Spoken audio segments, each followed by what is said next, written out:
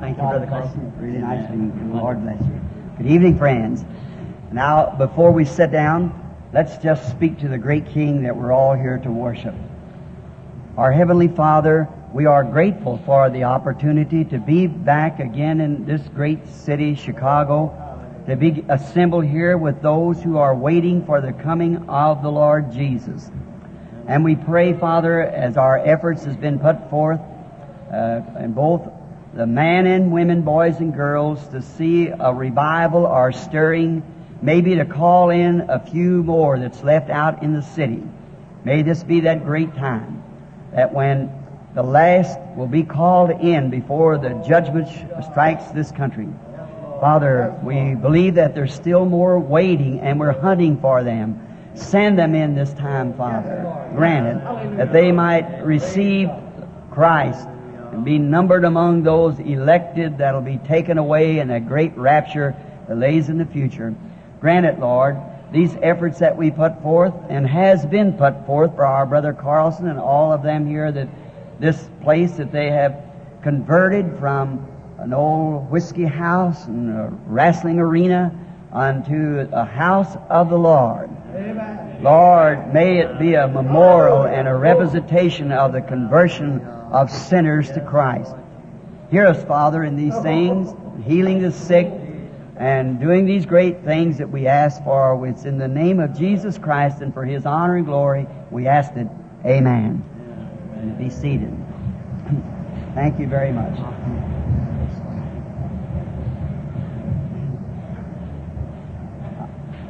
It's always a privilege to come to Chicago.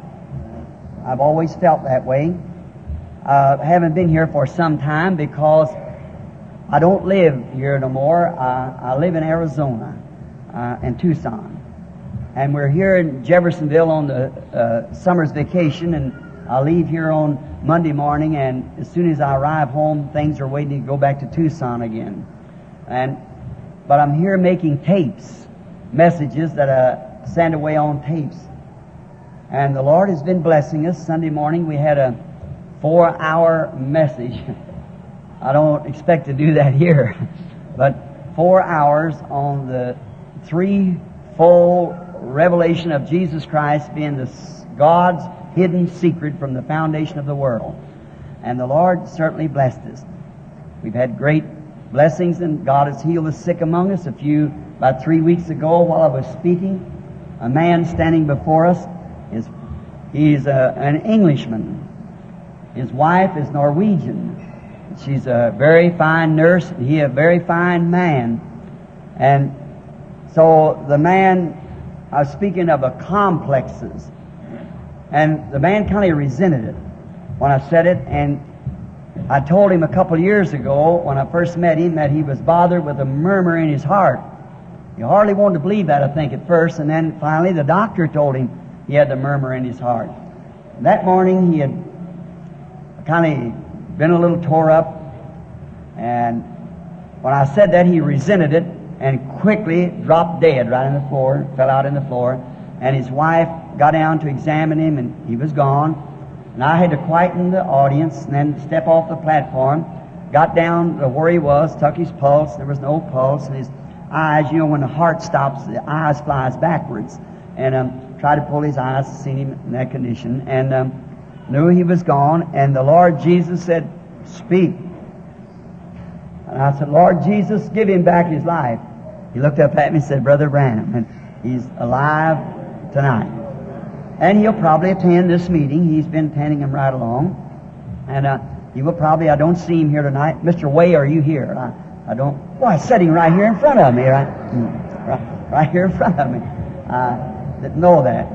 And now here he is tonight, very healthy. Would you just stand up so the people can see that God can raise the dead from, it? And his wife, a fine Norwegian nurse, and praising the Lord. Is your lovely little wife with you? She's gone to attend for the uh, attend the sick. His wife is a very lovely person who tries to take care of the sick. That's in her heart. She nurses constantly, and she's tending to some of the sick in the back now. And um, so we're so grateful to the Lord. Now, uh, coming in, heard Brother Vale speak just before me, and I'll try each night to get out real early, as early as I possibly can. And I'll be praying for the sick, and just as the Lord will lead, and asking God to bless Brother uh, Carlson and all the group here in Chicago that's waiting for the coming of the Lord. Maybe a little later on in the week, I might tell you a vision I had this morning, a little after daylight, just as I started to come up here concerning this. And maybe sometime when I get a little more time during the week, uh, the Lord willing. Now, uh, how many here that's never been in one of the meetings before? Let's see your hands. It's never been in one of the meetings. Well, well, we're happy to have you here in this uh, little uh, tabernacle tonight and in this arena where I think it was once used for wrestling, wasn't it? Boxing and so forth. I remember I preached here not long ago in Vincennes, Indiana, Evansville, Indiana, rather, where I went into Golden Gloves as a, a kid, and then I got to fight in professional fights as a boy. And I won 15 straight professional fights, and I lost one, and that was by a draw in Evansville, Indiana, and in the same arena where I had fought this man, I went back preaching the gospel. I said, now I'm fighting not my brother, but the devil has been binding my brother. and so here we are tonight, and the place is converted from trying to bind one another by wrestling knots and trying to tie the devil in such a knot by the scripture that he can't get out of it until he takes account. That's right. And now we pray that the Lord will help us do this. Uh, just again now, would there be any, just before we read the word, like to be remembered in prayer? Just raise your hand. I know it's hot in here tonight, and that's the reason we'll hurry. And remember, come back tomorrow night, and that's Wednesday night, Thursday night, Friday night, and I think Saturday morning, I've seen it on the list for the businessman's breakfast, Saturday morning, Saturday night, Lane Tech High School, and Sunday, Sunday afternoon and Sunday night here. Let us, what's, into this, all right? Yes. Can you hear that better? Is that, that's fine, all right. So, uh, remember to stand to this side. Now let's bow our heads. Now, Heavenly Father, as we are approaching this hour where man and women has to make a choice, we realize that we'll not be able to go out of this building the same as we come in. We can never enter the house of the Lord and go out the same. Go better or worse. Grant, Lord, that we can go out tonight better than we was coming in. And these few words, these texts, scriptures that I have written down here for a little message tonight, may it be to the honor of Christ May His people in hearing it receive faith. For truly we believe we're living in the last hours of the last day. The sun has been setting for quite a while. God's long suffering has held it up. The shadows are gathering now. And we pray, God, that you'll let us realize this more than ever before in life. Bless those people who raise their hands. Forgive our sins. Give us faith in thy word in the coming of thy Son. For we ask it in his name and for his glory. Amen. And they asked if you would pray that the bag. Very best. Um, just a moment. There's a lady way back in the back that's fainted, I believe it is. And she's sick. Let us just pray. Heavenly Father, in the name of Jesus, thy Son, may the power that raised that young man that night and sat all night long listening to Paul preach, may the same power that raised him up to health again, may it do likewise for this our sister who fainted perhaps because of the heat and is back there sick. Let the Holy Spirit, Lord, of life come upon her and strengthen her mortal life. Grant this, Lord. We commit it to you now in the name of Jesus Christ, thy Son. Amen. Let me hear from you. If it gets worse, I'll go back. Now, over in the book of St. John, the 12th chapter and the 32nd verse, I wish to read for a little portion of Scripture, just in a way of making text, to build a context. And I do see that it's difficult for you to hear me. I can tell the way you're acting. A rebound in, in the building. Now, I'll try to speak this as plain as I can. I want to read this text. Jesus speaking. Then I, if I be lifted up from the earth, will draw all men unto me. I want to take this for a text. There is only one way provided by God for anything. One way God has provided to meet everything.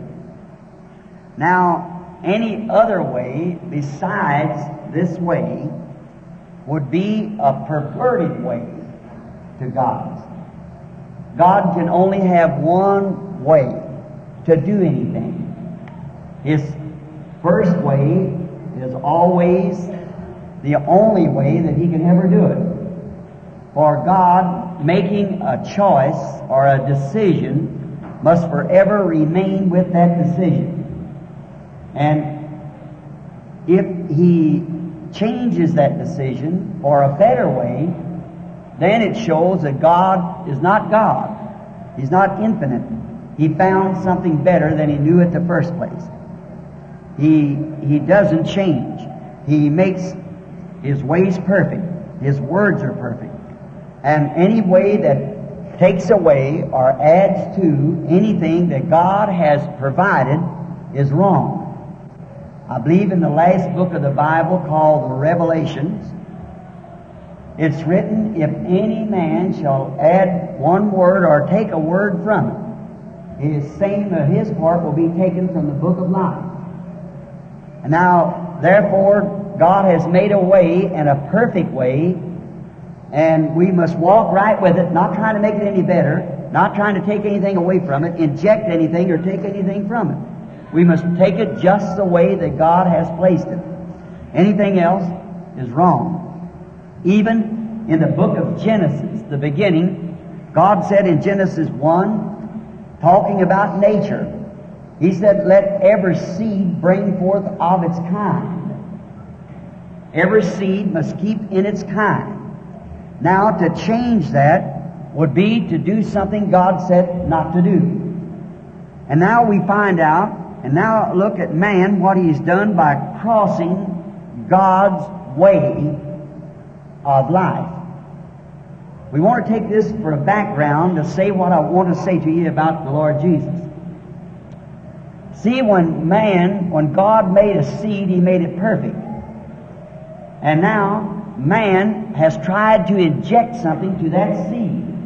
For instance, today coming up, I noticed in southern Indiana and all up through Indiana, long, there were what we said hybrid corn. And what a fine big ear that corn is, but it isn't any good. It looks better, but it isn't better. It's absolutely no good at all. And we find out that by hybriding chickens, we find, did you ever try to eat fried chicken in these days? Well, you can't hardly do it. It, it smells and tastes just like, uh, I mean, it tastes like a chicken smell. So what is it? There's 800 people laying sick in Jeffersonville, Louisville, and New Albany now from eating eggs from hybrid chickens. See, they've taken the chicken and breed it different ways. And then another thing, they are getting to a place where they spray with this uh, mosquito stuff and get this DDT. The chickens and animals pick that up. We're certainly living in the last day. They are breeding different things together, crossing over, and it makes a, a, a product that's no good. Through doing this, I was reading in a medical journal, I believe it was, and then in Reader's Digest, of how that it's changed the course of life for people. It's even perverting man and women. That man are becoming more like women and women like man. Man are becoming uh, a sissy. And, and women are becoming masculine. It's hybrid stuff. You see that cell that we eat from this animal that's hybrid is actually not the right cell for us. Therefore, in doing that, see that cell from the animal or the cell from the wheat or from the corn, it's not the right cell. In order to let this grow look like vigor, it has to be sprayed all the time. Now, a genuine plant, a good, healthy plant does not have to be sprayed at all. No bugs will bother it because it has a repellent itself that it puts out that keeps all the bugs off of it. Now that's God's way. What brought sickness into the world was sin. When man dropped away from God's provided way, he opened himself to every devil there was, to sickness and so forth, because he has to keep medicine and sprayed, and it's just each generation inbreeding into another. Now you might be a Christian, and your wife might be a Christian, but the genes of your body is still the inheritance from your father and your grandfather, and on down, as Daniel said, each generation will get weaker and wiser. And it's got the whole race, the whole human race dying. Just think, a few years ago, you never heard of anybody getting hurt playing baseball. Now they have to use a helmet to bat with. They kill so many every year. You hit the man, he's so soft, he's like a guinea pig. He just dies right now. And you notice, again, they used to like this boxing. I believe it was Bob Fitzsimmons and Corbett fought 125 rounds. Now, two to ten rounds, and then you have to work on them for a month to get them back to life again. And then they fought bare-fisted. And now we got a feather bed around our, our hands when we fight. And now they're going to have to stop the game is because every time you hit one, it nearly kills him. And you see, you it's, it's the whole race is gone. There's not a hope left. Everything is at its end. Cattle, corn, everything. Now you cannot take a plant that's been planted and hybrided into something to bring it back again and plant it. It will not do it. It will not reproduce itself. It can't. Because God's commandment still stands the same. Every seed must bring forth of its kind. If it isn't, it's a hybrid seed with a perverted life, and it'll soon die. You plant a hybrid corn, it'll get up just about to where the ear should set in, and it'll turn yellow and go back. Now that's the same way that they have did it through animals, they've did it through seeds, they've did it through everything else, and they've did it in the church. It's try to make a prettier church, a better place, a, a beautiful thing, great things. They've hybrid it by mixing it with some kind of man-made doctrines and so forth, and it gets up to the Word where it can reproduce itself again and dies again. See? And there's you just simply there's one way to do anything, and that's God's way. Amen. And outside of that, it's all off because it will not reproduce itself again. I've got scriptures for these things to prove it. It's to be here in the last days. When I heard that egg situation the other day, I went back in my book where the Lord spoke to me in 1931. And there I had written in my book, in the last days warn the people not to eat eggs or live in a valley. You see, not knowing what fallout and things would be. See, but yet the Lord forewarned that way back 30 years ago. See, not to live in a valley in the last days and don't eat eggs. Everything will be poisoned.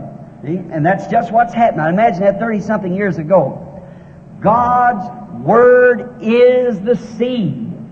Jesus said so. That the Word of God was a seed that a sower sowed. And this is the only seed that will produce eternal life. Now we can have all other kinds of lives, but life, church life, home life, family life, national life. But the only eternal life comes through God's Word. That's, that's the only seed that can produce eternal life.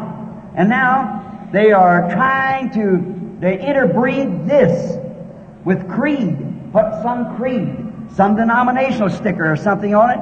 And what they have did by doing this, it's got the church to a place that it grows up to a place to, to where it ought to be receiving the seed, the real word, and it's a hybrid condition. He'll fall back to his denominational teaching and leave the real word of God alone. Therefore, We are at the end time. Yes. There is not one hope left. We cannot build upon this nation. This nation is based upon politics. Politics is finished. It's just as corrupt as it can be. When you, you read a Life magazine where this uh, attorney or, or this uh, uh, judge, his son, a boy, he's so hard on racing these rippies and so forth out here, these hot rods, and his boy killed a big bunch of people, a little, ba- a little boy, a little baby boy, and a bunch, and the judge set him free. All a political play up. See, national life's gone. Natural botany life is gone. It's so interbred and everything till it has not life in it. Human life is a constant mess, and spiritual life is at the lowest ebb it's ever been. That's right. See, Amen. see, there it's so hybrid. Everything bred in and added something to it to make it better this way. I tell you, even to our Pentecostal movement. Yes. When we used to go down in old bar rooms like this and places, I was converted in a converted bar room. And I feel very much at home now. I look back there and see that counter and so forth is a little colored church where I received the baptism of the Holy Ghost. Was led there by the Lord. Now, to see these kind of places, they, they don't want to, they got to have the big flowery name behind it. It's got to have so much behind it or people won't, it's got to be so pretty outwardly. Yeah. Until, if it, it isn't that way, then the people don't want nothing to do with it. That's right. But what's the word of the Lord? Now, God's got a way of doing things, and we must do it in the way that He wants it done. If it isn't, then it's not effective. Jesus found something like it when He come in His day. He said, You by your traditions has made the, the Word of God of non-effect by your traditions. See, they had hybrid into, injected into God's commandments their own traditions, which made the commandments of no effect. Today, I know it's become the same thing. There is not a thing left, my Christian friend, but the coming of the Lord Jesus Christ. That's the only hope that the church has. Amen. As far as it comes, if it ever takes up a denomination again, it's finished. Because every denomination finished when it become a denomination. It's the very thing, I'll say something here I maybe oughtn't to say, but yet I believe I ought to say it. If you notice, Lucifer is exactly doing the same thing today that he did at the beginning. See, Lucifer at the beginning wanted to build himself a kingdom which was greater and more beautiful than Michael's kingdom, Christ. He that was his ambitions to achieve something like that. And what did he get to do it by? He took fallen angels who lost their first estate. He took that to do it with. And today Lucifer has got into the church and taken away the word and rejected denomination and he's building a church uh, uh, that ecumenical move that's going on now to unite all the Protestants together and all together come into Catholic, and this Pope they got in now to do the same thing, exactly what the Scriptures said it would do. And what's he doing it by? He's doing it by man of those great ecumenical moves who does not know God, and the many of them in the Pentecostals, because they're doing the same. What is it? He's doing it with fallen angels. Fallen Lutherans, fallen Methodists, fallen Pentecostal, that lost their original estate from the Word of God and going right back in to make a great big Amen. fallen messengers, messengers who once stayed with the Word but sold out their birthrights and joined in with the world. The same thing is at the last day, and there Lu- and Lucifer is achieving today by man with those spirits in them that he did with angels at the beginning. Fallen angels who kept not their first estate to obey God. And he's doing the same thing today. Oh, you'll never find any way, any way at all. I don't care if you're in a bar room or you're on the street or wherever you are. God's provided way for man to come to Christ and receive eternal life. Jesus said, I, if I be lifted up from the earth, I'll draw all men unto me. That's God's only way. If I be lifted up from the earth, I will draw all men unto me. He's the same yesterday, today, and forever. He said in St. John, the 14th chapter, the 12th verse, He that believeth on me, the works that I do, shall he do also. God's provided way. Mark 16 said, These signs shall follow them that believe. In my name they shall cast out devils. They shall speak with new tongues. If they should take up serpents or drink anything, it wouldn't harm them. They'll lay their hands on the sick and they shall recover. The very things that Christ did, that's, He was God's Word made manifest. He was God's promise vindicated. He was, He was God in uh, flesh form. The Bible said that God was in Christ, that great Jehovah that created heavens and earth was made manifest in a body. The Lord Jesus, and in that one man, he could achieve to, he tried it through Moses, and he did it in Jacob, and he did it in Joseph, but he come in his fullness in the man Christ. He was the fullness of the Godhead bodily, where God could express Himself. And He said, Who can accuse me of sin? Sin is unbelief. If I haven't done exactly what the Scripture said I would do, then who can condemn me and say, ah, We're a fail in one way? See, it's God's provided way. And Christ, the just one, had to die in order to produce eternal life by His blood, giving His blood cell that He might give us eternal life. That's God's provided way. There has never been anything that ever beat God's way on anything. I don't care what it is. If people just don't try to inject their own ideas, but just take it the way God said believe it. See, it seems to be so hard for man just to get out of his own ideas. Just, he's got to have something to do into it himself. He's always gummed up, if you excuse the expression, he's always gummed up God's way for him, but injecting his own way into it. Have they ever, do you think they could find a better way for a chicken to be born than to peck its way out of the shell? I just wonder if you could find any better way. No, sir. He's born with a little peep on the end of his little bill, and every time his little head nods back and forth, amen, amen, amen, he scratches that shell till he scratches himself out. yes, sir. You'll never find a better way because that is God's provided way. Now, what if you had the little peep on his bill and you said, poor little chickie, you know, I'm going to get a better way for you. I'm just going to crack the shell and pick you out. It'll kill him. Amen. That's right. He'd die. He wouldn't live. He's got to do that in order to build his strength enough to receive the air and things when he comes out. If he, he's provided with the tube, he's got that little peep. You've seen it, little birds and chickens. And as he nods his little head, he scratches that egg back and forth until he peeps his way out. If you'll take that as an example, or in a way of making a point, that's God's way for Christians to be born. Not walk up the altar and give a man your right hand and put your name on the book, but get down there and peep and cry and beg and plead and know God gives you strength, and you come forth out of the shell of the world. If somebody, pastor, just cracks the shell and takes you out and says, oh, well, that's all right, we'll take you in anyhow, you're dead. That's all there is to it. You've got to come God's provided way. Amen. And that's the way the rest of them had to come by being born of the Spirit of God. God. Stay there until, how long? Until. He told them, first groups of Pentecostals, to tarry in the city of Jerusalem until. Don't make any one day, five days, nine days, or whatever it was. Stay there until they are filled with the Spirit. Till they're born again. Ducks and geese they have never found a way for ducks and geese to, to get ready to come south from the north here, then God's provided way for them to swarm. Some time ago, I had a great lesson on that. I was down in Texas, and I noticed was going down a road and traffic was stopped for most a half a mile. And I said to someone, "What's the matter?" He said, "The geese is all across the road."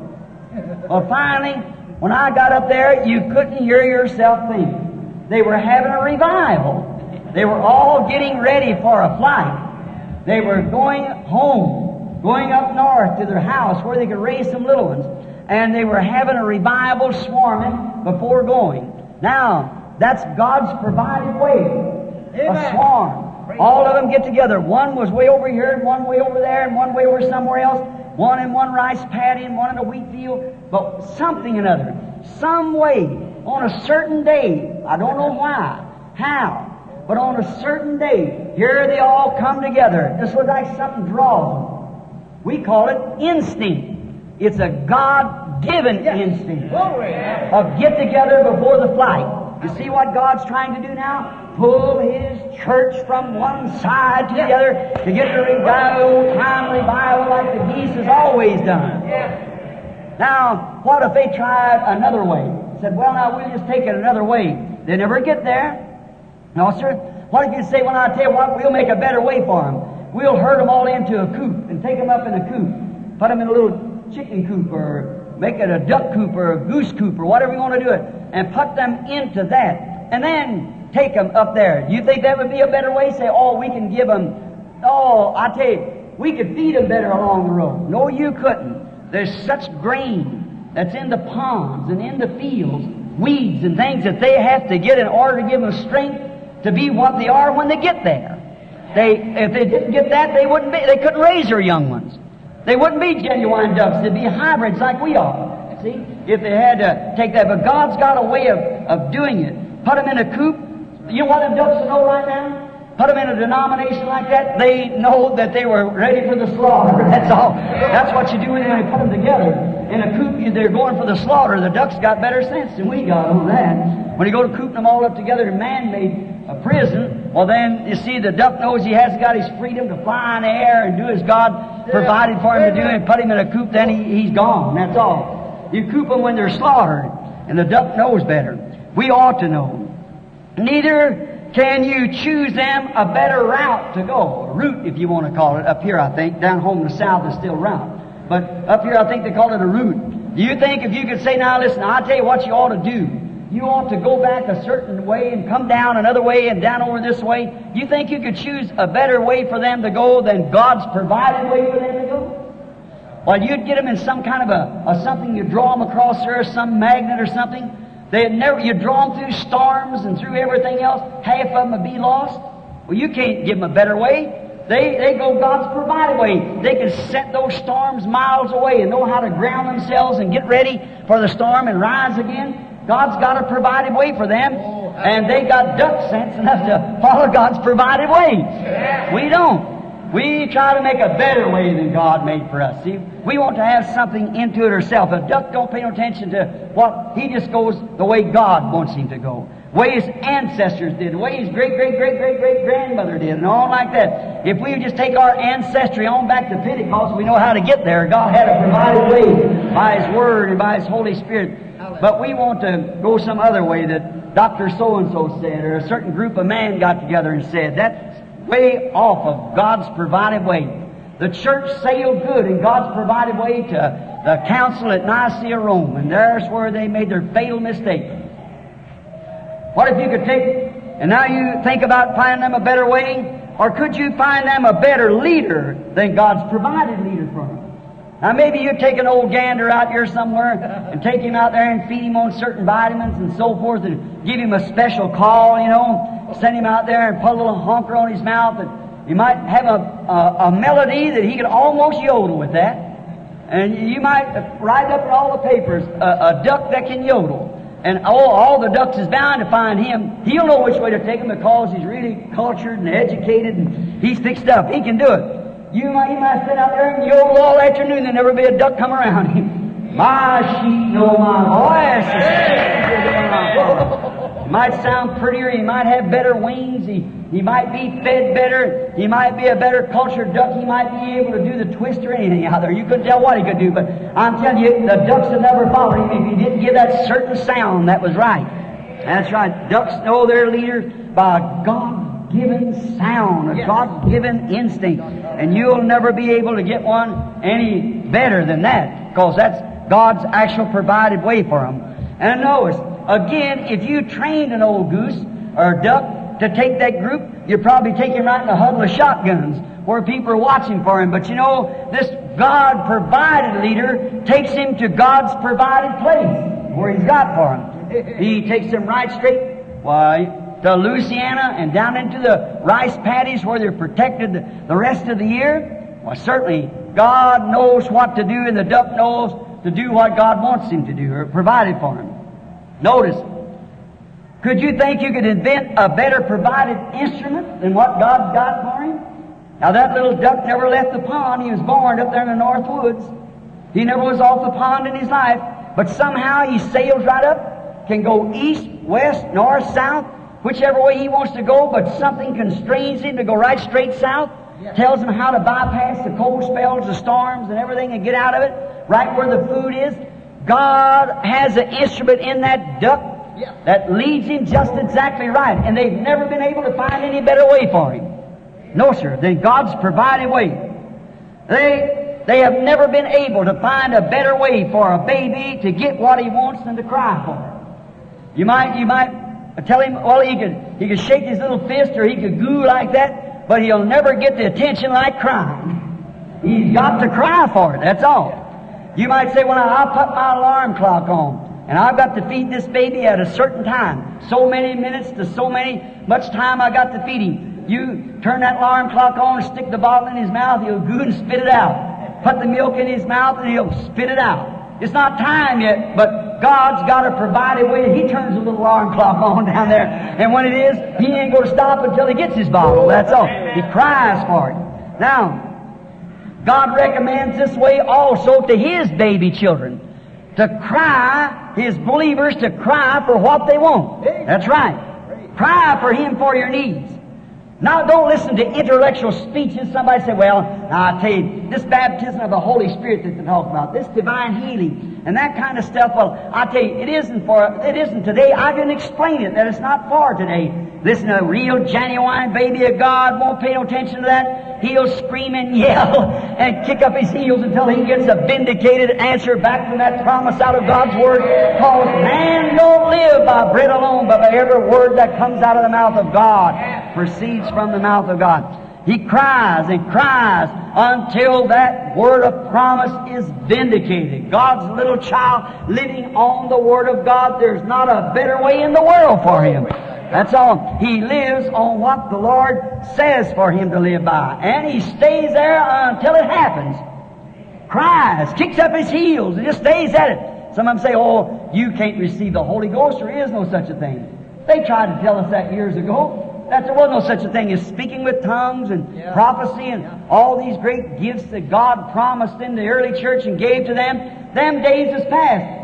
You think that stopped that hungry hearted people? They took a hold of this word and know that the Bible said he, the promise isn't to you and to your children and to them that's far off, even as many as the Lord our God shall call. They stayed there on their faces and cried and begged and kicked up their heels and screamed until God poured out the same Holy Ghost upon them that He did on them at the beginning. Amen. Amen. What is it? God's provided way.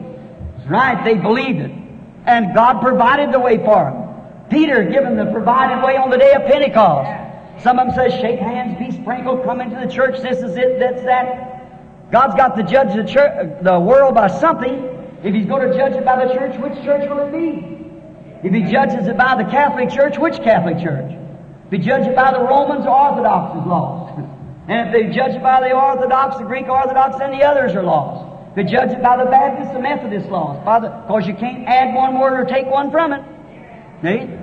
So remember, one word, disbelieve, one word, caused every heartache, every sickness, every death, and even the coming of the Lord Jesus to die to redeem us.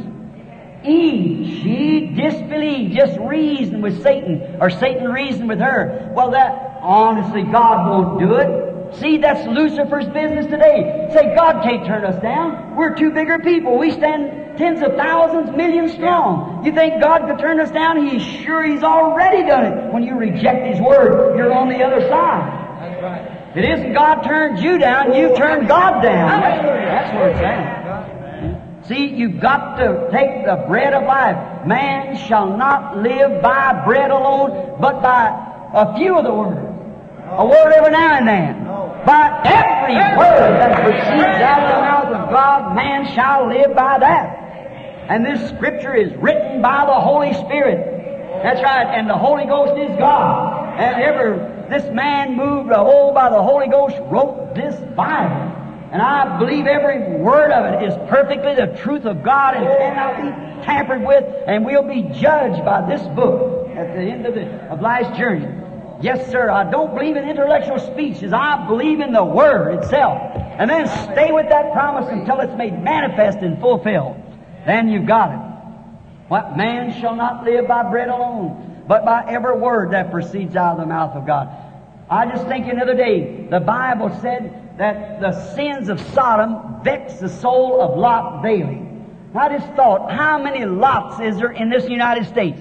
Man sitting in their study, good man, sitting in their study, looking out the window and seeing these modern strip teases on the street and uh, carrying on the weight. They can't say nothing about it. They know it's wrong.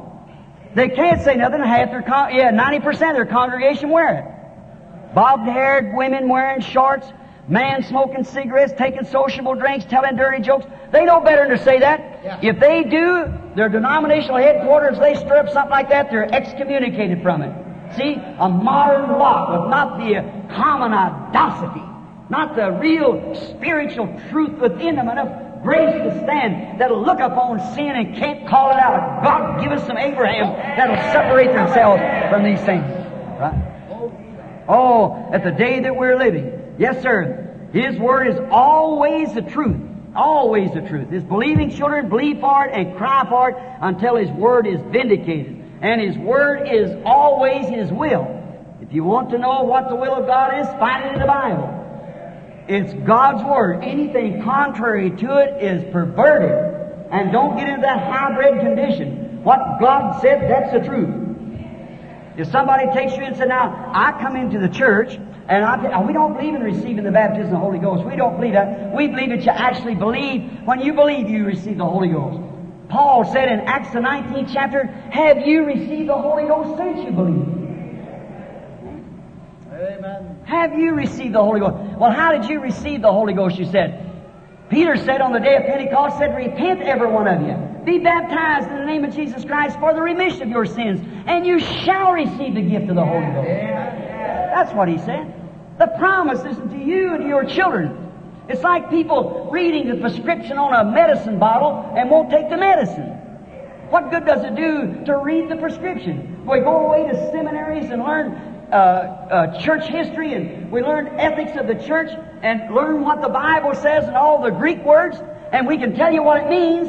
Yeah. But that's just telling you what the Bible says, what the direction says. I can tell you what Peter said on the day of Pentecost. I can tell you that the promise isn't to you. But you say, I believe that. I can be this medicine sitting here for the disease is right. But until I take it,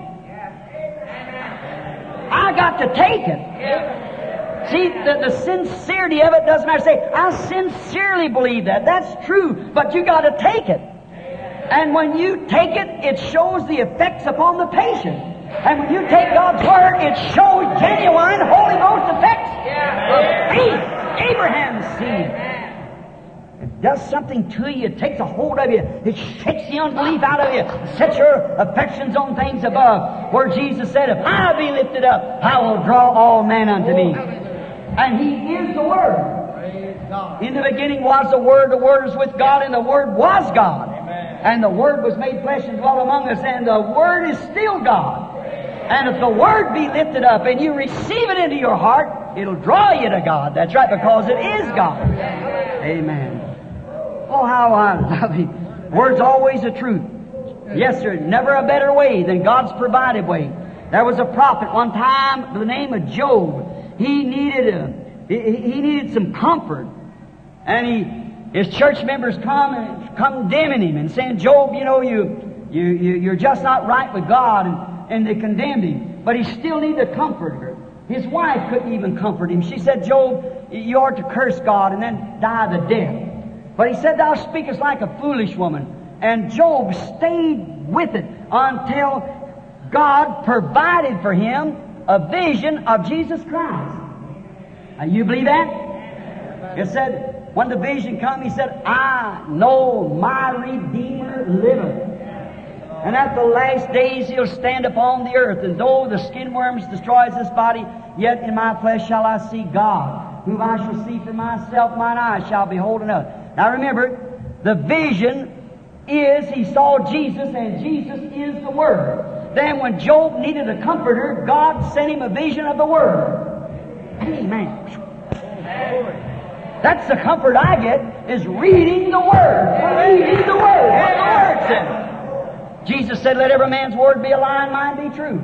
Don't care what someone else says. I, I respect what they say. But when it comes to believing, if it's contrary to God's Word, I don't believe it. That's right. I do not believe nothing but what the God's Word said, for man shall live by every word that comes out of the mouth of God. Not just so much of the Word, He said all the Word. The whole Bible through, man shall live by every word that proceeds out of the mouth of God. Now that's how man lives. That's God's provided way for him to live. And Job was a prophet that lived even before the Bible was written. And notice, he was a prophet, and the word of the Lord comes to the prophet. And then when he wanted comfort, he could find none. He went to his church, and his church didn't didn't have any comfort for him, but accusation against him. But he stayed until God showed him the word by vision, and then he was comforted. And he stayed on his feet, and the lightnings flashed and the thunders roared. And he said, Though the skin worms destroys this body, yet in my flesh shall I see God. Let death or anything else strike me, it doesn't make a bit of difference, because I'll see God. I saw the vision of his word. Israel one day, they was uh, in Egypt, down there in captivity, and they needed a way. They needed a way out of Egypt. And notice, we find out that a man got trained by the name of Moses. He was trained in all the military might. Next Pharaoh to be down in Egypt. He's trained in all the military might. He thought someday he would deliver his people. And he come out, this mighty man, mighty in word and deed, Moses. And he tried with his military might, but it wasn't God's provided way. He lacked something. But one day, when he was on the backside of the desert, what he lacked, the burning bush had. And Moses saw a vision of the Word. That was God. And when he did, the vision spoke the Word. I remember my promise amen, to Abraham, Isaac, and to Jacob, and I remember I promised them, and I've come down to deliver them. Amen. Oh my! Then, as I spoke the other night at the tabernacle, Moses become a prisoner to God. Unless God can get you a prisoner, Paul become a prisoner. You, you can't look at what you think. You can't look at what somebody else thinks. You got to go just what he says. Do you're a prisoner. Paul knew that he was pressed in the Spirit to go a certain place when he didn't want to go. He knew that the Spirit forbid him to go certain places. He knew he had to hold his peace at many times. Now, a little old fortune teller run out at him one day, uh, hollering around behind him, and Paul, that Spirit of God, he wanted to rebuke it day after day, and finally he got the message, rebuke him, and he turned around. He couldn't do it till God said so. Amen. Oh, if the church could only be so in the glorious presence of God, someday God will turn loose His power into it. Things will take place. But you can't mix your diet. You'll become a hybrid. Stay exactly what God said. Stay right in the Word, and God will vindicate it to be the truth. Yes, sir.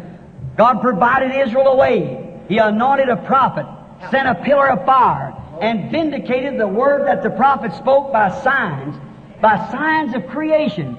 Moses, go stretch your stick out over the sea, uh, out towards the east, and say, Let there come flies. And Moses, a man with the word of God, knowing that a man cannot create, he stuck his pulled back towards the east like that and said, Let there be flies all over Egypt. And flies created and come into existence by the word of a man. God uses a man for his instrument. He can only speak through man. I am the vine, ye are the branches. Right.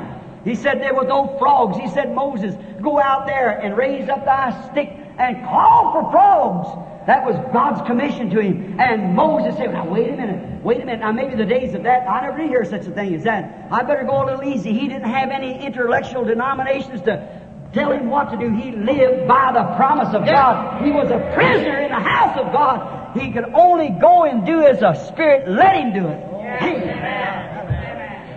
And he raised up the stick and spoke, and frogs come into existence. Sure, they provided a lamb when they needed something for their sin. God's provided way made a lamb. God's provided way made a way across the Red Sea when they was in a trap. God's provided way, provided them a prophet, provided them a pillar of fire to follow them, a vindication of the word. A man proved of God that what he said come to pass. Showed them exactly what it was. And yet when they crossed the sea, they wanted a law. See, that's just human beings. That's just the way man operates. He wants to inject his own ways. Oh, God's provided way is always a way of sending His Word. Death struck Egypt. He was going to kill everything in Egypt. Now remember, when the boils were breaking out, when the fire was falling, and when the rains come and the hail come, God provided a place for His elect not to get into that. He had a place called Goshen. Now there was coming a spirit of death upon the land, and every man remember, death is the reason we die. And Israel had to have something to keep them from dying, or death would have struck them too. Because the payment of wages of sin is death, and Israel had sinned. And God, so that they would not die, His people who were trying to follow Him, He provided a lamb and a blood over a door that protected their firstborn. God's provided way. While Egypt thought they could shut themselves in around all their great theologians and witch doctors and whatever they had, the and death angels swept right in over top that because it was without blood. In any religion today, it hasn't got the blood life of Jesus Christ behind it, the death angels on it. Amen. Right? Amen. Death angel, separated from God. Yes, indeed. Ichabod is wrote on every bit of it that hasn't got the blood. You say, well, I'm glad the blood. If the blood hasn't taken effect, if it hasn't taken effect and you see it in your life as a consecrated child of God with what Jesus said would take place, then be careful. You might have something else besides the blood. You might have a little injection of theology in there, something, yeah. a little injection of some sensation. You say, I quivered, I shook, I danced, I did this. Be careful. If the medicine ever strikes you, it's good for every human being. It'll save from sin. It'll clean up from a life of sin. It'll make a different person out of you. It'll take the doubt away. It'll make you a new creation in Christ Jesus. Amen. Death struck Egypt. God separated belief from unbelief. That day by the by the blood upon the door. Moses, a faithful servant who followed every precept of God, when he come to a place he had to die, he's getting so old, 120 years old, he had to die. He had no place to die. He didn't want to die down there, them murmurs and everything like that. God provided him a rock. Amen. He started climbing till he got above all the unbelief, and God had a rock laying there, and he died on that rock looking to the promised land. That's the place that rock is Christ Jesus. That points you to the promised land. You get on Him one time and you'll see every promise of God is true. Absolutely. If, if ye abide in me and my word in you, then ask what you will, it'll be done for you, because He is the Word. It just manifests itself through you when you abide in Him. Notice, after he died, he was way up in the wilderness. He needed pallbearers. God provided angels.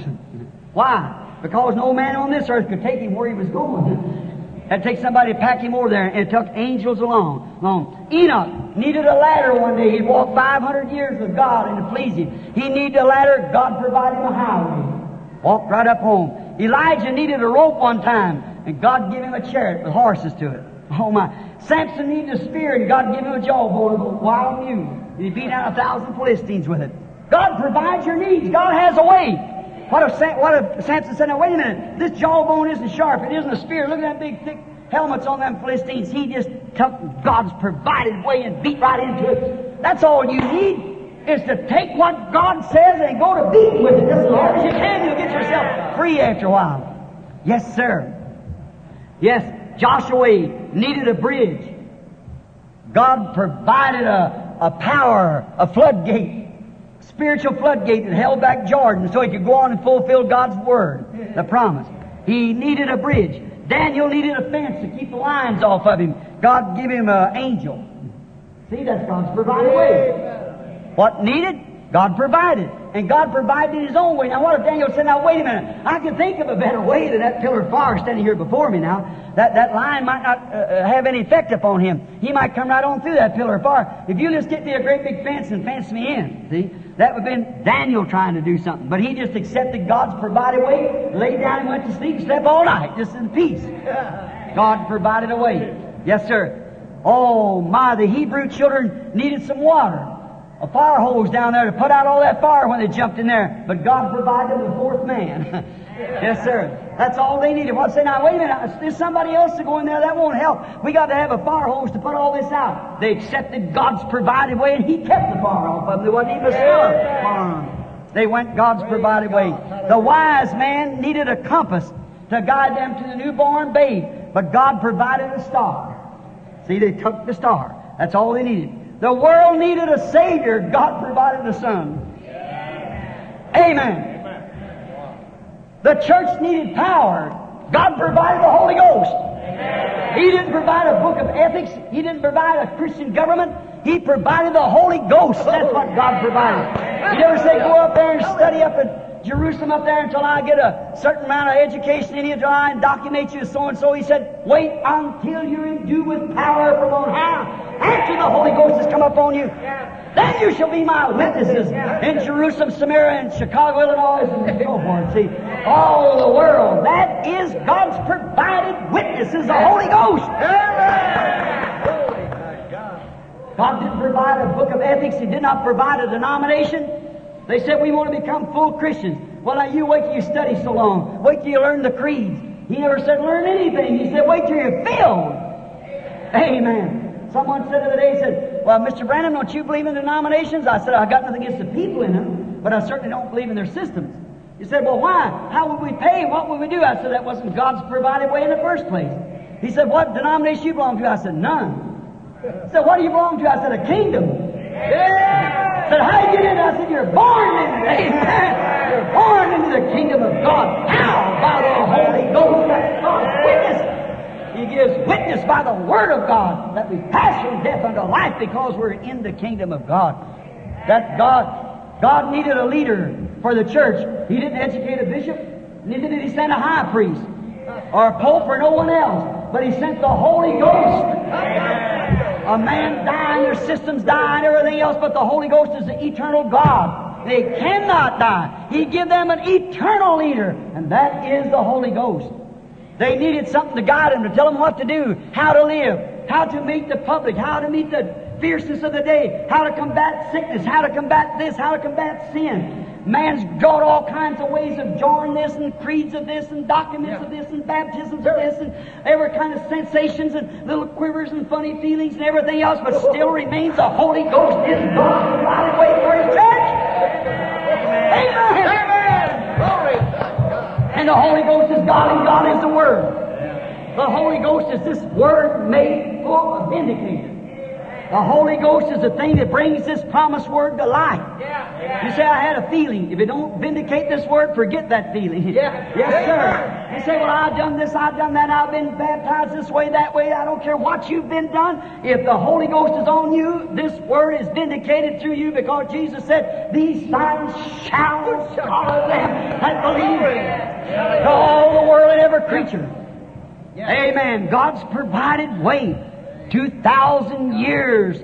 That went all right for about 300 years. Then they had a council meeting one time at Nicaea, Rome, and they wanted to inject something. Then after Martin Luther, another angel of God brought forth the message, then they had a, another injection. And then after John Wesley, had another injection, and just so forth, a council meeting, until they got this place, until the churches has become hybrid by the ethics of man's teaching.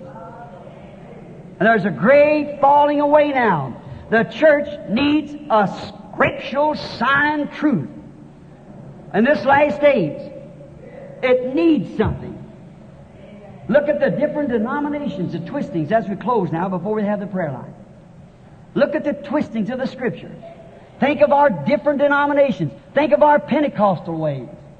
Think of our Baptists, our Presbyterian, our Lutheran. Even to our independents. Whatever more. Fellow don't know where to stand. The church needs today a scriptural vindication. What did Jesus say in St. John, the 14th chapter, the 12th verse? He that believeth on me, the works that I do shall he do also. The very things that I do shall he do also. Notice, he promised, as it was in the days of Jonas, the prophet, so shall it be at the coming of the Son of Man. See, he said, for as Jonas was in the belly of the whale three days and nights, and was raised up as was from the dead, that'll be a sign to a wicked and adulterous generation. Now, we are living in the last days with a promised sign of the resurrection. After 2,000 years of been documenting and drawing off the road and this way and that way, the people don't know what to do. But Jesus told them and promised them, as it was in the days of Lot and Sodom, so shall it be in the coming of the Son of Man. Compare it today. Take Genesis 6 and look what he said. How the renowned man, how women would get pretty. We got the prettiest group of women that ever was on earth since that time. Women are much prettier than there was years ago. They got so many different things to make them pretty. So many different paints and powders and fixes and hairdos and everything and immoral clothes and things to make them attractive. A man come to me yesterday. He said, I got a boy 16, Brother Branham. I got a boy 12. I take him on the street, these little strip teases out here. He said, the boys are little males. He said, what can I tell them? I said, sir, I don't know. Take them to Christ. Let them get saved and filled with the Holy Ghost. They'll turn their head to them modern strip. Remember, when the sons of God looked upon the daughters of man and seen they were fair, they took unto them women. Took unto them women. Look over here, this great scandal in England. Look through the United States. Look at these call girls in the UN. Everything else. Oh, it's just terrible. And that's a man renowned. We're right back in that hour. The red lights are flashing everywhere. The coming of the, of the Lord. Jesus said, as it was before Sodom was burned, so will it be at the coming of the Son of Man. That's right. The women are becoming so, they don't realize what they're doing. An evil spirit upon them. Why would a woman take her clothes off like that to expose herself? She don't mean to be bad. They, they, they're just caught in that trap and they don't know it. Just like it was back there in that time. Female flesh being displayed everywhere. See? Very attractive. Runs the sons of God right out of their mind nearly. And then a Sodom and Gomorrah law to protect her from it.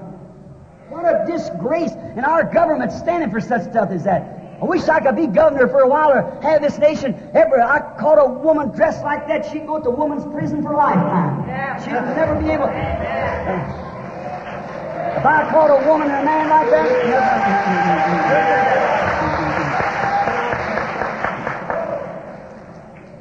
if a woman and a man was caught living like that, they'd both become sterile. That's all there is to it. Performed right out in public by the doctors. Yes, sir, we'd put the penalty is little. What is law without penalty? The penalty of God's law is death. Sin is death. Yeah. Right.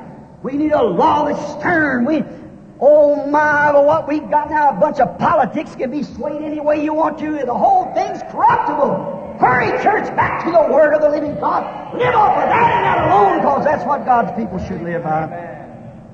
God promised this church a scriptural sign. He said the resurrection would be reproduced. Jesus Christ and His church have become so they be one in the last days. He promised it. Now we know that is true. Now He also promised that there would be a restoring of the faith. We read over in Jude that said in Jude, earnestly contend for the faith that was once delivered to the saints. Now we're promised in Malachi 4 by the same system he always did that we would be restored back to the original faith. Oh, Oh my, back to the original seed, back to the seed like it began on the day of Pentecost, back to the same doctrine, word by word, power by yeah. power, spirit by the same thing. Yeah. Just exactly like it was about the beginning. Through signs and wonders of the living presence of Jesus Christ after 2,000 years, He's still alive.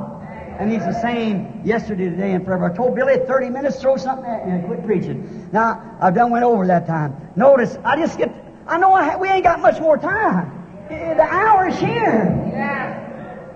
Friends, don't just come to the meeting and say, well, I really enjoyed it. It's a little hot, but I enjoy it. Don't do that. Be sincere.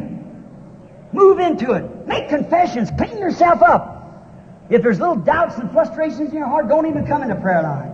No, sir, I want clean. Our confessions is a roundabout way. I had a woman on an interview here a few weeks ago, and she said, I found in there where she had a baby, belonged to another man. And she had lived with two boys, and she took this one boy and married him because she liked him better and said the baby was his, and she knew all the time it belonged to somebody else. And she said, I confess that. I said, Yeah. Here's the way you said it. Oh, dearie, oh, dearie. What if you thought something, oh, dearie, you know, old John, old boy, old boy, what, what if I told you this baby belonged to somebody else? You wouldn't believe it, would you? No. Well, what if it did? Oh, say, John, are we going out tonight to have some hamburgers? That's not confession. Get down on your knees. That's why people come to God. Oh, Lord, you're so good, you just let me do anything I want to. Don't you believe that? God's got a law you live by. Shall you clean up and wash out and confess and believe with all your heart and come back to the Word of God? You're still guilty. You can't do that. You've got to tear the thing down. People's got to come godly, sincerely, get down on their knees and stay there until the results takes place. That, that Holy Ghost power of God's love injects into your heart and makes you confess all your sins and all your unbelief and accept Jesus Christ. God has said everything He could. Watch how He proved it the first time, like Brother Bale was saying a while ago. See, how did they know He was Messiah when He seen the woman at the well? He told her what was wrong with her. Quickly, that woman, in that horrible condition, living with six husbands, said, You've had five, and the one you're living with now is not your husband. Six husbands, six men on the string. She was running with. In that condition. But when she was told, she seen that the Word of God sharper than a two-edged sword, a discerner of the thoughts of the heart. She said, Sir, you must be a prophet. Now, the Word of the Lord comes to the prophet, see, to reveal these things. Said, You must be a prophet. We had prophets for hundreds of years. But said, You must be a prophet. Now, we know that we're looking for the Messiah. And when the Messiah comes, that's what he'll do. Jesus said, I'm he. And the people of the city, of that entire city of Sychar, every man believed Jesus Christ. He didn't have to do it again. He did it that one time, and every man believed him because the woman said so. Her testimony, she'd been changed so they couldn't keep from believing it. Oh, give us men and women Yes. with positive testimonies that'll bring man to repentance again. Hallelujah. They believed on the Lord Jesus Christ. Now, by that sign, he proved that he was the Messiah. God helped me by the same sign with his Spirit to prove that he's still the Messiah. Only by the Word of God shall we live. His promises that he would do it. Now, accept God's provided way at the end time. If you're sick tonight, God has a provided way. Yes. Jesus Christ is a provided way. If you're sinful tonight, unbelieving, can't live right, can't seem to get settled down, Jesus Christ is God's provided way. Just believe Him. He's the same yesterday, today, and forever. Then He and the Holy Spirit, which He is, Holy Spirit is Jesus and Christ in form of the Spirit. A little while the world sees me no more, yet ye shall see me because I will be with you even in you. The Holy Spirit, Christ called it I. See, Christ, God, the Holy Spirit in Him was to be in His church unto the end of the world. God's Word, in the works that I do shall you also. A little while the world won't see me anymore, yet you shall see me, for I am going to be in you. He that believeth on me, the works that I do shall he also in you until the end of the world. God has a provided way for believing children. Jesus Christ is that way, the same yesterday, today, and forever. Let us bow our heads just a moment. While you have your heads bowed, do you believe that He is the way? Is there some here that would like to believe that and never has accepted it yet? Friend, will you raise your hand be that sincere here in this old arena tonight and say, Brother Branham, pray for me. I don't want I, I- don't want to meet God this way. And remember, we broke in on a conversation, picking up a phone in a certain place the other day, and a woman had just got in, and a man was calling her back, was out with her. And this woman, supposed to be a Christian, and he said, Is your husband still asleep? Yeah. Said, If he ever finds out, we said, Don't make any difference to me. And a little baby crying. Do you realize and you understand this adultery, this dirty, filthy world? She's at the end. God's good. There won't be one building setting by another in Chicago one of these days, or nowhere else. God is fixing to rain out that sixth seal upon the earth, break that seal and turn loose the wrath of God upon the earth. But before He does that, the church will be gone. The bride will be gone. The church won't. She'll go through the tribulation, but the bride will be gone. His little wife won't go through that. Don't you want to be one of them members of her tonight? If you do and want to be remembered in prayer with your head bowed, raise your hand. God bless you. God bless you. You, you. Our Heavenly Father, all the words that I could say wouldn't mean nothing in comparison with one word you would say. I'm just a man quoting what you said. I pray for these who raise their hands. God grant. That great vision this morning tore me up, Lord. I'm still tore up. And I pray that, that you'll help me, quieten me, Lord. I'm nervous. And I ask that, that you'll help. If there be these that's raised their hands tonight straight into the building here or by some means, let the great Holy Spirit speak to them now, and may they come sweetly to you. I know the custom is, Lord, call people around the altar. We believe that's all right. But according to the scripture, they said, as many as believe was baptized. And I pray, God, that these people rush up for Christian baptism, believing on you and confessing their sins and accepting Jesus Christ and His blood for their pardon. Then rise and be baptized, calling upon the name of the Lord, washing away their sins, and then may they be filled with the Holy Spirit of His promised seed. That life that changes their whole nature gives them a new hope, lets them look only, become a prisoner from any desire, any ambition. Like the great St. Paul wanted to be a rabbi. He wanted to be a great man. He trained, his father and mother trained him to be so. And back there on the backside of that desert, after meeting that pillar of fire that day, it told him it's hard for you to kick against the pricks. Called his name Saul, Saul. How could a pillar of fire call his name? But he said, I'm Jesus. He knew that's what Jesus did when he was on earth. He knew that pillar of fire was a Christ that led his people out of Egypt through the wilderness, and he knew that that was still the anointed. And Lord, we know you're still the same today. I pray for each one. Give them peace in their hearts, Lord. Sanctify this little church and all that's connected with it, all the strangers in our gates. For Jesus' sake, I ask it. And then, Father, I pray also that you'll heal the sick. Vindicate what I've said to be true. My time's running out, Lord. I'm getting old, and I pray that you'll help me just to win every soul that I can. God, let the people see tonight that if the Almighty Himself comes down in our midst and proves that He is the same yesterday, today, and forever, may the people see that man shall not live by bread alone, but by every word that comes from the mouth of God. Grant it, Lord, and not harbor themselves with some uh, great infections of, of uh, some disease, uh, germ that brings unbelief in their heart. But may that infection be taken out by the power of the Spirit. That the germ of eternal life might live in them, that they might grow to the full stature of Jesus Christ. That in this last day, that he and his wife would be one. Grant it, Lord. I ask in Jesus' name. Amen. Now, believe you people that raise your hand, you believe on the Lord Jesus Christ and accept him as your Savior and believe him that his blood and that alone atones for your sin, then I want you to see some of these ministers here for baptism right away. They'll tell you what to do from there. Now for the sick and afflicted, those who have prayer cards, let's start from number one and start and get a few of them up here. I say about 1 to 15. I'm running about 15, 20 minutes late. I should have been out 15, 20 minutes ago. Number one, who's got it? The prayer card number one. Raise up your hand. Everyone has prayer card number one. Stand up, everyone who's got prayer card number one. If you can stand up, we can't see too good here. It's the lighting situation is not good. Prayer card number one, number two, number three, number four, five, six, seven, eight. Our uh, lady here, Holly, you're- get one to fifteen. Um, stand up now while the rest of us bow our heads. Come right over here. Come right over here, number one to fifteen, while we bow our heads and pray for this lady. She's sick uh, over here. Mrs. Wade has her here while we pray again for her. It's awfully hot in here, and I know perspiration's just squishing out of my shoes. Let's pray now. All our heads down. Our Heavenly Father, grant these blessings to us.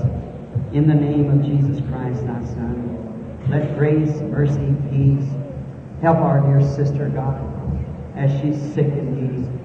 Let the Holy Ghost come upon her, Father, and give to her back good health again. She's sick, come to church tonight, won't enjoy it. And here we find her sitting here sick, faint because of the hotness of the heat of the church. God grant her healing. I pray these blessings in Jesus Christ's name. Amen.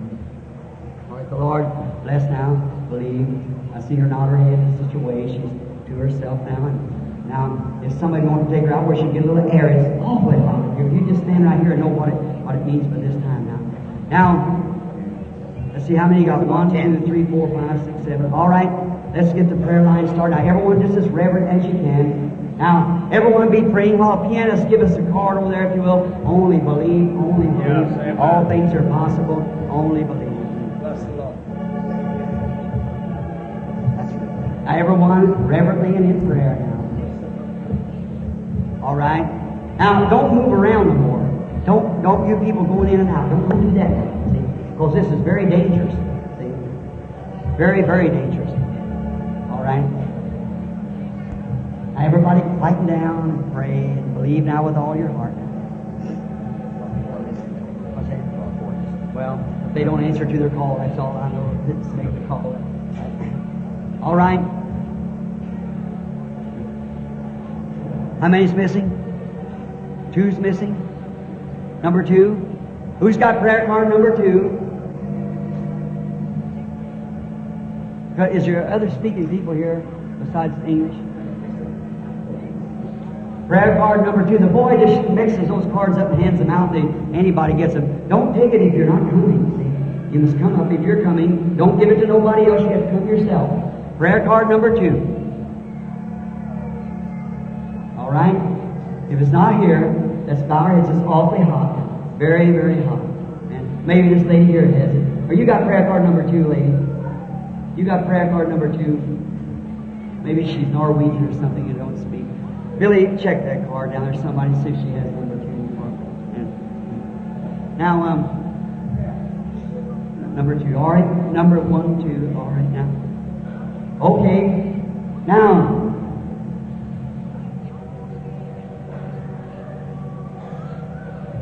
One, two, three, four, five, six, seven, eight, nine, ten. There's about two or three more missing.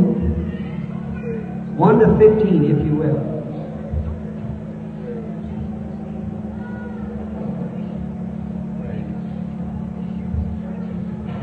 Well, everybody reverent now. See. All right? Now be real reverent. And pray now. How many's going to be praying? Raise your hands. I'm going to be praying. I'm going to be praying. Believing God. Now, how many out here doesn't have a prayer card? And you know God will will heal you. Let's see your hand. You, you believe God will heal you.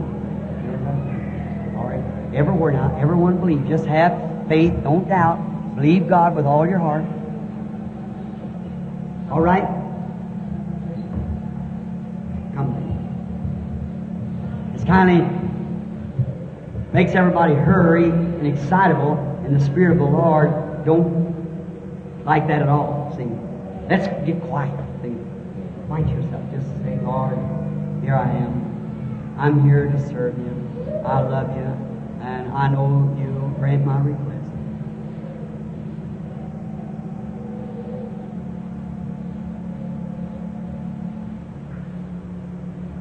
That's it. Now, can you hear me?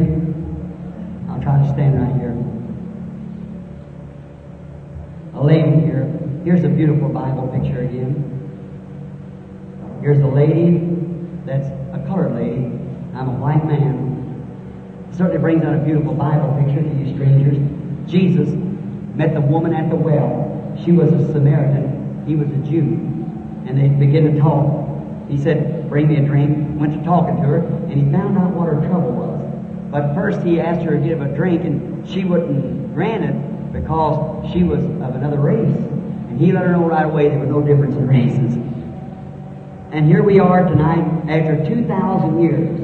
Now Jesus Christ promised that the things that he did, the believer would do also. Is that right? Now, everybody believe that? Amen. St. John, 14th chapter, 12th verse. And now, why? He was the Word. Is that right? And he said, If ye abide me, my words in you, ask what you will. Now, if this woman's sick, I couldn't heal her. Nobody could heal her. God's already done it. If she's a sinner, I couldn't save her. God's already did it. She just has to believe it. But now, if Jesus is the same yesterday, today, and forever to give an eternal sign of his resurrection in this last days, then he would speak through me if I'm his servant and call for this purpose. Now, all servants are not called to do that. See? But there is, at least in a generation, one that they have that. Now, But if this be so, it's to show to the rest of them in your ministries that God is with you. See, He does other things. I have spoken tongues. I don't, I don't do it all the time. I've done it four or five times in my life. I didn't know what I was doing. Hearing myself speaking one day, I thought, look around, see what was going on. Heard somebody sound like speaking German. I looked and see where it was. It's me doing it myself. And I thought I could run through a troop and leap over a wall. Eh? But find out it was me. I just kept real still till it got finished. And uh, the Holy Spirit making intercessions for a woman later on showed up very, very bad with TB, and the Lord healed her. But now here, to this audience, this lady's strange. She's a colored lady. And she's somewhere around my age. But I've never seen her. She's just a woman. Now, she's standing here for some reason. I don't know. I, I, I couldn't tell you. I don't know nothing about her.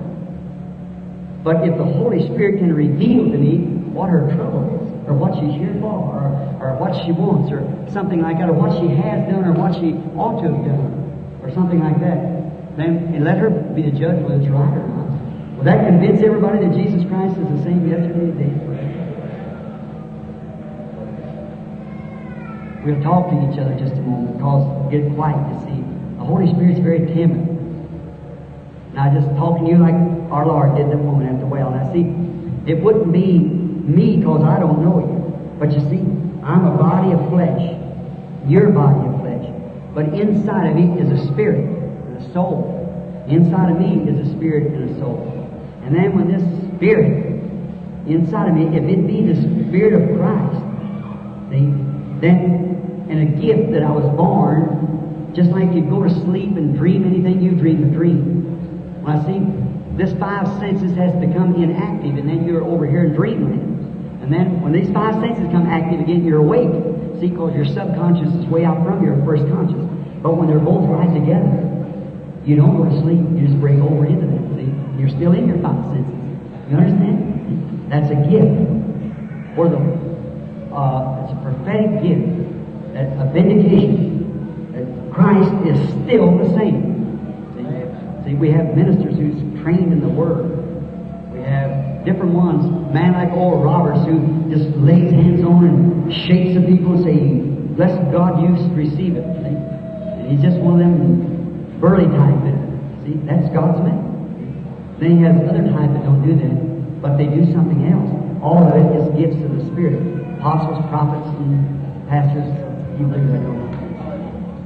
You believe God sent me to do that? You do. You thank you, sister. That's what I call you sister, because when you said that, I felt the Spirit say that's right. Now, you're here, and I see now people can still hear me. The woman's having a sleepless time. She can't sleep. That's right. Very getting sick too. You can't hardly eat. You're getting very sick. It, you're afraid it's gallstones. That's right. That's exactly. You're right.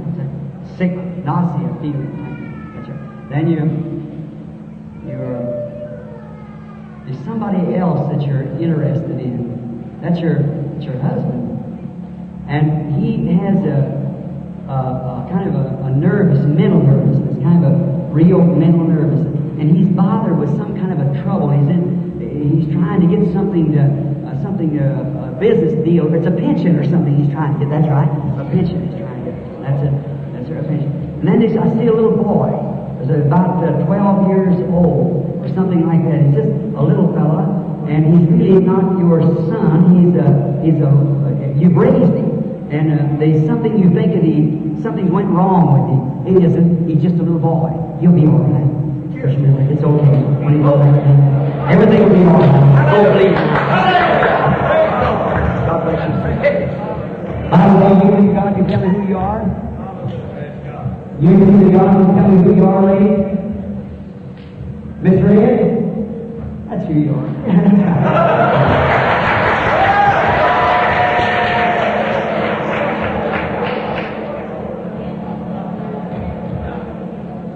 Sonny, it's all right. You mind your auntie? Hallelujah. Praise the Lord. She thought something happened, but it hasn't. You're just a little boy. You don't mean to do that. Go ahead, you'll be all right. Amen. My, how the Holy Spirit would like to break in. How do you do? If the Holy Spirit can tell me what your trouble is, you believe in Him, will you? You believe, all right? You have a, a nervous condition. You have roaring in your head. Oh, going like that all the time. That's right. Then you was examined for a growth. And they found the growth is in the rectum. You believe with all your heart now? Yes. That's right. On your road, believing, you'll get well. Believe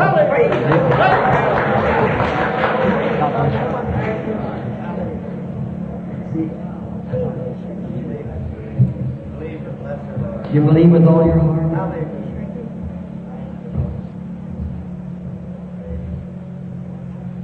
Just have faith, don't doubt. Believe that Jesus Christ is the same yesterday, today, forever.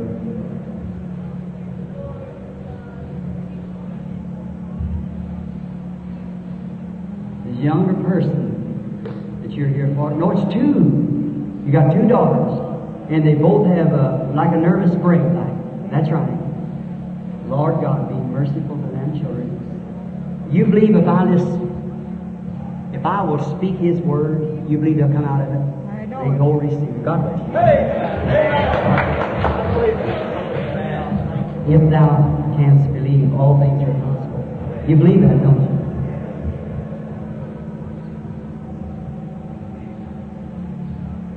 You believe with all your heart?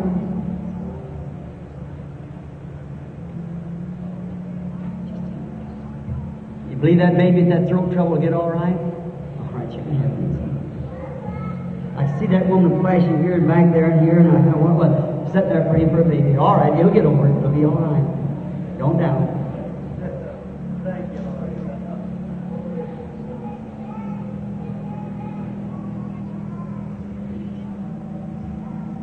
You believe with all your heart? You believe that Jesus Christ is the same yesterday, today, and forever? If the Lord Jesus will reveal to me what your trouble is, you believe Him? You have a nervous condition, complications. Of course, a woman your age. Here's the great thing: is a growth. You believe God can tell me where the growth is? It's on your left breast. Is that right? All right. Go believe it. Do. Come on. Hallelujah. Have faith in God. Don't doubt.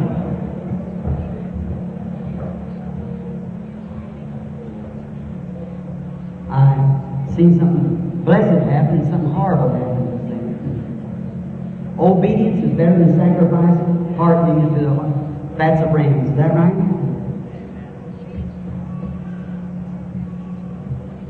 Lord Jesus, be merciful. My, oh my, obedience, sincerity and obedience. How the Lord Jesus did something like that. We'll tell you just a minute. Just believe, don't doubt. Believe God will heal you there, sister, the little yellow dress on, say, oh, yes, okay, sorry. All right, you receive it. Just have faith, don't doubt. Believe.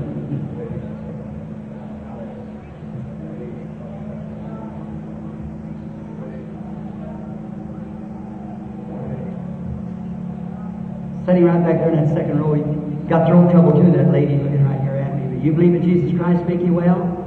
You do? Yes. You had to get it up, get somebody a place to get out. Five minutes more and you'd have been healed. You missed it, but you got it. You can have your request now. Believe you. You believe that God can make you well? You believe God can tell me what your trouble is? Got diabetes. Your husband's here with it too, isn't he? That's right. Both of you can get well. Go believe it with all your heart. Praise. Asthmatic, nervous. Do you believe God can make you well? You believe with all your heart? Let me lay hands on you, shall pass by. In the name of Jesus Christ, may you be healed.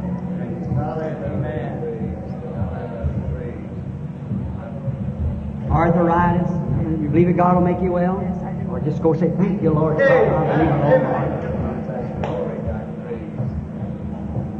Oh my. Nervous arthritis, stomach, just believe with all your heart. Go on say, Thank you, Lord, for making me right.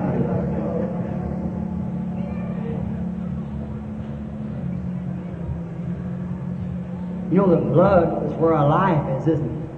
But God can heal anything. Do you believe that? Blood, anything else. So, your soul. Say, Thank you, Lord. What if I just laid hands on you and said, The Lord bless you? Would you believe you'd be healed? Come through that, you say. In the name of Jesus Christ, God, make him well. Amen. Have faith. I never seen so many people. This this lady here has arthritis too, and complications, things like that. That's right. You believe God makes you well? All right. Well, don't say thank you, Lord Jesus. Hallelujah. Praise the Lord. How many out there wants to believe now? Man shall not live by bread alone, but by every word that proceeds from the mouth of God. Do you believe that the mouth of God said this? The Jesus Christ is God in flesh. We know that. We no argument about that. He wasn't just a prophet, he was God. God made manifest in the flesh.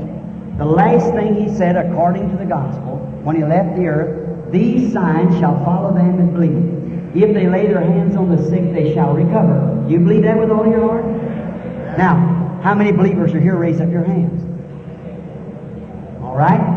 Now, I want you to do something. How many here has something wrong with them that they want to be prayed for? Raise up your hands. Now, looks like everyone. Now, here's what you do. You exercise your faith.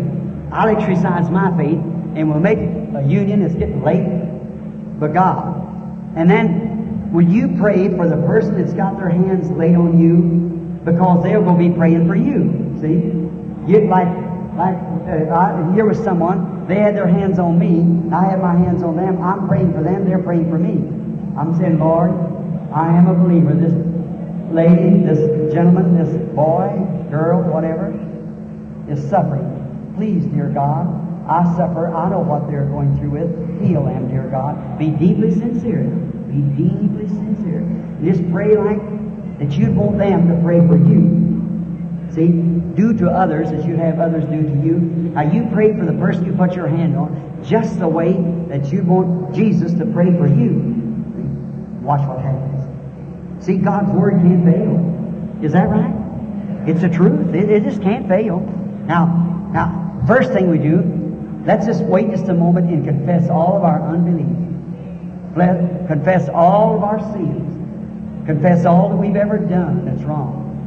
Let's just say, Lord Jesus, forgive me. Let- I want this to be a real meeting where Jesus Christ can be manifested. Jesus Christ can be magnified. Now, while I'm talking to you, just confess everything. Say, Lord, I, I've had a lot of doubts.